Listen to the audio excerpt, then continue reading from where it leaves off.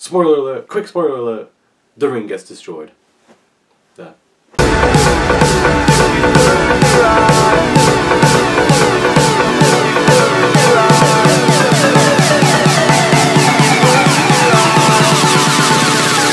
But if you close your eyes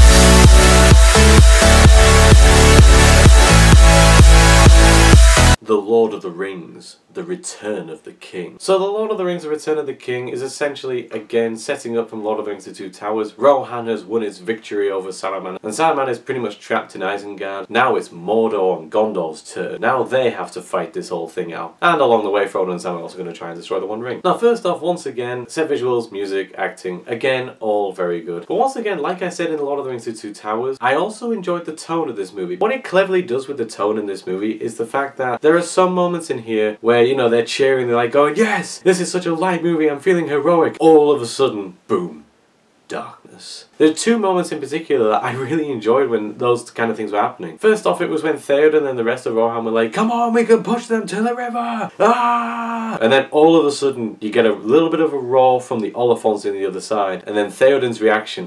Theoden's reaction is just priceless in this movie. Again, like I said, the tone, light to dark, you're just like, oh wow, okay. Jesus. But it's also another moment as well, is the climax of this movie. Because the ring gets destroyed, Mordor is about to be brought down, and Aragorn and Gimli and Merry and Pippin are just going, yeah, yeah, we won, get it! Boom, off goes Mount Doom. All of a sudden, gloom to doom. Just that sudden tonal shift always gets me. I love those moments. I think that was brilliant in this movie. What I also really enjoyed in this movie was the relationship between Frodo, Gollum, and Sam. I really did enjoy just the way that they were all connected and then disconnected and then tried to connect again. They were more involved in this movie than they were in the last two movies, and rightfully so, because the ring is going to be destroyed, so you've got to pretty much include them in the main storyline of this movie. But that's what I loved about this movie, just the fact that Gollum is tricking them all to try and get Frodo into Shelob's lair, and Sam goes back down. I mean, I really did feel for that moment. I really did. I felt for Sam, and I felt for Frodo because he's being corrupted, but he doesn't know about it. It's just that sudden turn again, just when he realizes, oh shit, Gollum's betrayed me, hasn't he? I just love those moments. The relationship as a whole, I think, is just really cleverly done. And what I particularly liked about this movie is, like in The Lord of the Rings The Two Towers, there is a lot of moments in this movie that I can literally just pick off here, here, here, and everywhere that I just really did enjoy. I mean, first off, you've got the beacon system. I thought the beacon system was really clever. I just thought it was very mesmerizing in terms of the set. You got all these beacons going off on all these mountains. I thought that was really quite cool. And then you got Shelob as well. I mean, talk about a terrifying fucking spider. And then of course you've also got that really legendary moment of Legolas versus a single Oliphaunt and just Gimli going, still only counts as one. You can't replace how good that was. But there's one particular moment that I'll always look at that will always make me laugh absolutely hysterically. Like in Two Towers, you got Legolas and Gimli giving a bit of banter to each other on the wall. But there was one particular moment in The Return of the King that always fucking gets me every single time. It's that single bit where Gandalf is literally on a horse just going, You are soldiers of Gondor. No matter what comes through that gate, you shall stand your ground. And then all of a sudden, about five or six fucking trolls just comes marching towards him. Gandalf's reaction is just fucking priceless. Just like,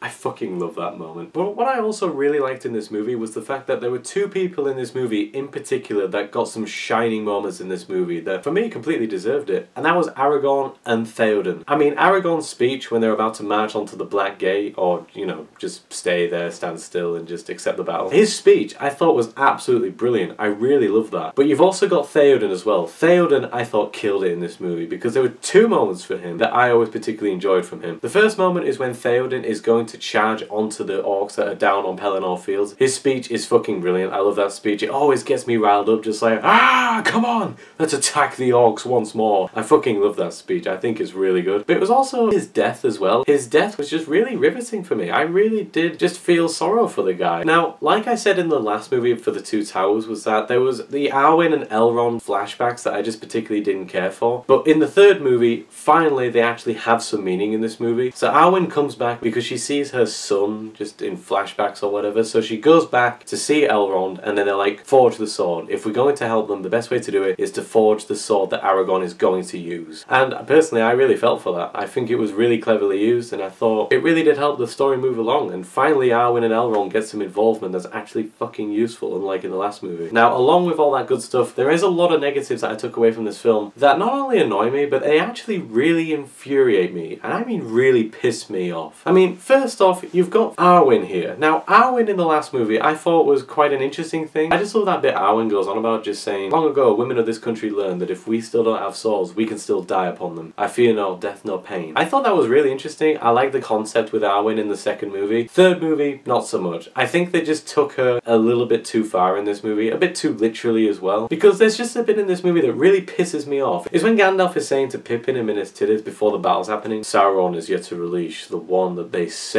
no man can kill. That's the key point in that whole thing he said there. They say. So he's not taking it literally, but unfortunately the movie just decided to take it literally. I mean, sure, you're going to tell me that the books do it as well, but for me, personally, I just found that to be just really annoying. I don't really know. I didn't like that approach. I thought it was a bit too stupid, really. And it was the fact that Eowyn had left to go and fight. Who was protecting Rohan at this time? There was no leader of Rohan. It was a very selfish move, in my opinion. And also, what really annoyed me in this movie was singing. Why was there singing in this movie? Like when Faramir is about to charge over to Osgiliath, Pippin is singing to Denethor. That was awful. I did not like that singing whatsoever. And then obviously you've got the end of the movie, which I'll get to a bit later on, where Aragorn is singing as well.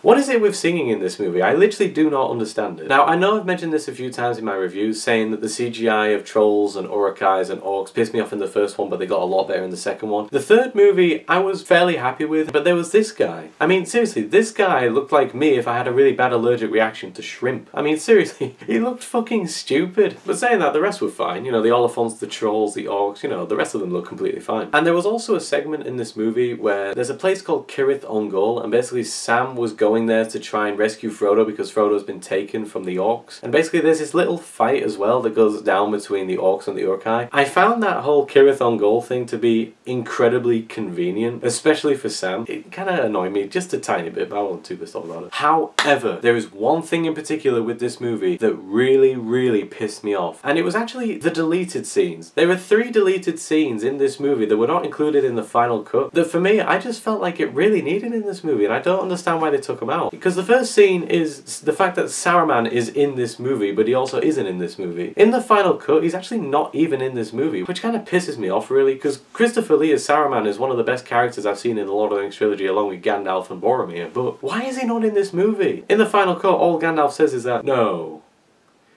he has no power anymore. And then that's literally it. You're just left with the fact that Saruman has no power anymore and he's just up in the tower just crying or something. But it was also, where's Grima? Because Grima disappears for a little bit in the second one and you kind of like, where's he? But you always assumed he's in the tower. But he wasn't seen at all in the third one. So it's like, is he in the tower with Saruman? What's going on there? The deleted scene reveals exactly what's going on there and it finally, you know, kills off Saruman. But they left it out. I don't know why they left it out. I mean, unless it was for the bit where he falls onto a wheel. Because, uh, yeah, that requires a 15 rating for that bit. But seriously, other than that, I don't understand why they left it out. There's also another deleted scene where there's a little tiny cool point where Gandalf and the Witch King are actually having a little bit of a fight. Well, like confrontation, should I say. I also found that to be really cool because at that particular moment as well, the Witch King is about to slash Gandalf and he's maybe going to try and kill him, and then Rohan clicks in with the horns and there they come. Because in the final cut of this movie, it's literally just Gandalf just going, Fight! Fight for your lives! Fight to the last man! And then Rohan come. Personally, I found the other version to be a lot better. I would rather have him facing the Witch King just for a tiny bit and realizing he's a powerful motherfucker here. And then the final scene is also the mouth of Sauron coming into play. Because as Aragorn and them lot are going to charge onto the Black Gate to tell them to open the gates, the mouth of Sauron then comes into play. And he has the Mithril that Frodo once wore and throws it on them, so making them believe that Frodo is now dead. And so the main characters are feeling despair and a bit annoyed, but then Aragorn slashes it, kills the mouth of Sauron, and just goes, I don't believe it. Do you want to believe this kind of crap? Which I actually found really interesting. I thought that was a really good moment, but obviously they took out the final cut. Now, obviously, I'm pretty sure everyone's going to be talking about it when it comes to Lord of the Rings Return of the King, is obviously the endings in this movie. Seriously, in my opinion, this movie should have ended with Aragorn not singing at all, and literally have him reunite with Arwen and then them bowing over to the hobbits. That's when it should have cut, because then Frodo just narrates for a little bit just about them going back home, and then there's that stupid relationship between Sam and that waitress girl or whatever, which you forgot or didn't care for, which I was both really. And then obviously you got the ending where Bilbo and Frodo and Gandalf and the elves are off to go wherever. I really didn't care. Personally, it should have ended 15 minutes minutes ago. But guys, in the end, I will say that I did enjoy The Lord of the Rings Return of the King. Probably not as much as The Two Towers, but I did enjoy better than Fellowship of the Ring. Because frankly, in The Fellowship of the Ring, there wasn't really that much going on. But in Return of the King, you've got cool action scenes at Minas Tirith, you've got the Black Gate as well, and all that kind of shit going down, which is really cool. And then obviously you've got the Oliphaunts as well, which are also fucking amazing. And then obviously those mistakes I just mentioned. But other than that, I will say that this is a good movie, and I will be keeping this movie and putting this on my bottom shelf.